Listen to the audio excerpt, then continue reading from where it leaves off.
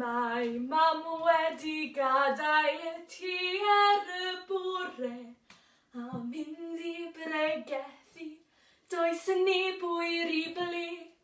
Bydd canodd o bobl yn gwrando ei gore a phob yr yw ddau funud yn gweiddi hwri. Mae tegell yn berwyd.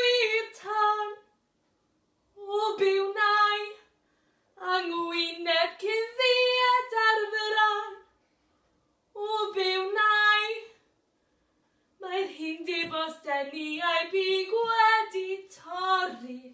Bydd mam yn byprygeth i pan wel